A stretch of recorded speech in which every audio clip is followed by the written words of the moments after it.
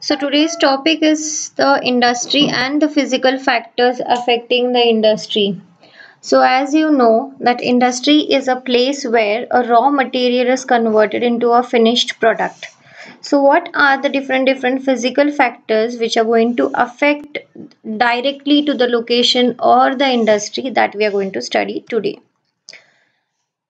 So we will study about different different industries and the other physical factors like climate, water bodies, relief which are going to play a role in place the location of industry. So the first physical factor is that any type of industry needs a raw material and it has to be transported from one place to another place. So this raw material for industry is the final product of a primary activity. The characteristic of raw material and also the finished product affect the location of industry. So any type of raw material which a particular industry requires that has to be uh, given or transported from one place to another place. So depending upon the raw material and the finished product which is being manufactured at the end, even these things are going to affect the location of industries. So we will uh, consider an example of a sugar industry. Now first thing means the raw material which a sugar require is sugarcane and the finished good which we will obtain from a sugarcane industry is the sugar. Now sugarcane loses its weight and amount of sugar after harvesting as the time after harvest increases and they, this affects their effective use for producing sugar. Thus, sugarcane needs to be sent to the nearby factories as soon as possible. So the limitation of sugarcane is what? That if it takes a lot of time in, in the process of harvesting or if it takes a lot of time to reach to that particular industry, then the amount of sugar which is going to be extracted out of sugarcane is going to decrease. Because of this, always the sugar industries are located near the sugarcane cultivation area. This will be costlier to transport as transport cost will increase with the weight. Therefore, bakery industries are located near the market. So let us look at the factories which affect the location of industry. So in the other hand, they have given you the example of a bakery industry where the cake is the final output and the raw material is also required of higher weight.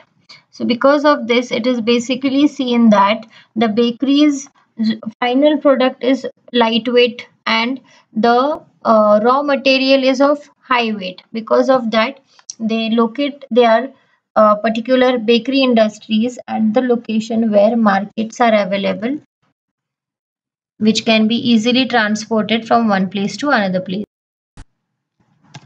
Now we'll see the first physical factor that is the climate.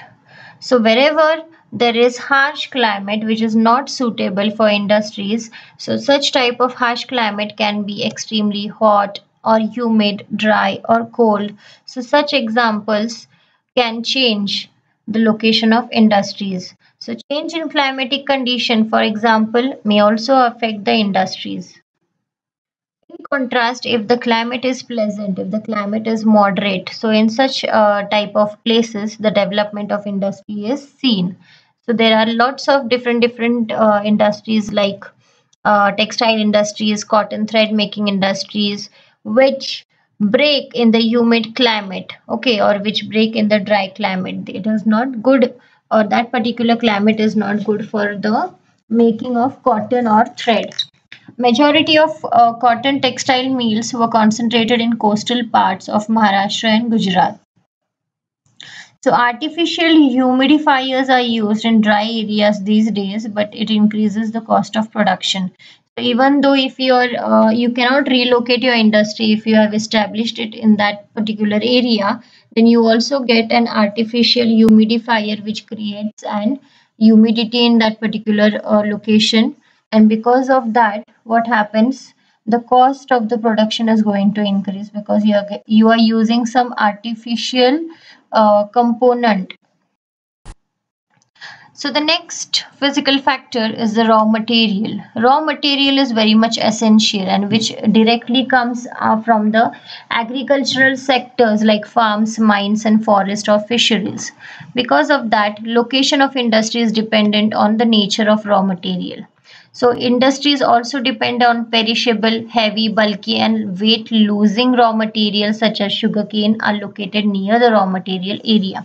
So any type of raw material which is perishable, which do not last more than two, three days, which is too much heavy, which is very much bulky.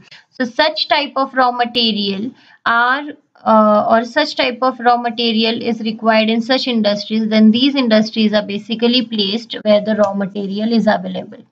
The jute mills, sugarcane mills are mostly concentrated on the sources of raw material for very reason.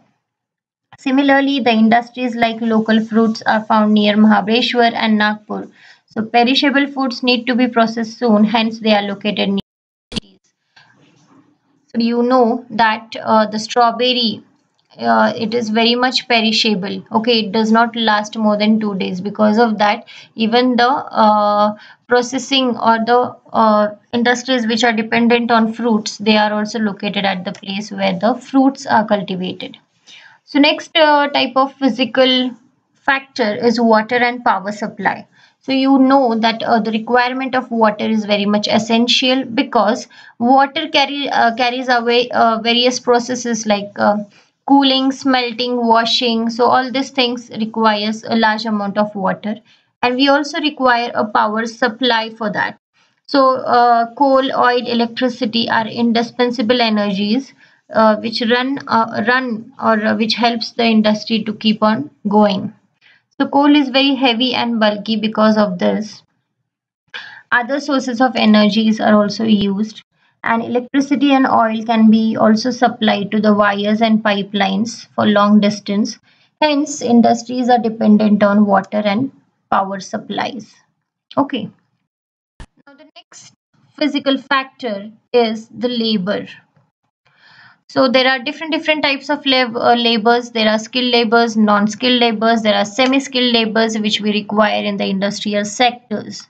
So there are different different types of works according to their skills. The works like construction, mining of industries. Semi-skilled labors are used for food processing industries, ornament making, and uh, skilled labors are used for ornament making industries. So in spite of increasing mechanization, some industries still require a large amount of workers. Hence, we find that labor colonies are also found near large industries.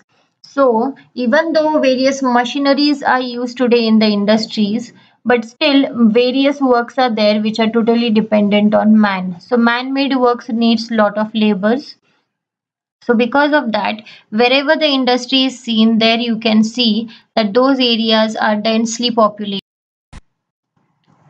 Now the next physical factor is transportation. So the cost of transportation and time required to carry goods is known as economic distance. If you require lot of uh, distance for transportation that is going to definitely increase your consumption of fuel and that is going to increase the rate of that product. So because of that, the transportation cost which is required to carry the goods or the time which is required to carry the good if that is high definitely that particular product is going to be more costlier. So because of that always the transportation cost and the time required to carry the good should be low. So the cost of transportation will be more for heavy and bulky perishable raw materials and for longer distance for example, transportation of coal, on the other hand, lightweight and non-perishable items can be brought from a distance through cheaper transportation like waterways. If uh, you want to transport bulky, heavy material, then you can use the waterway transportation. And such industries may be located near the ports or river, for example, cotton, textile or pulpwood. So many industries are also located near the ports of the river. Why? Because those industries, they require the waterways for their transportation. The next physical factor is site or availability of land. So site requirements for industrial development are of considerable significance.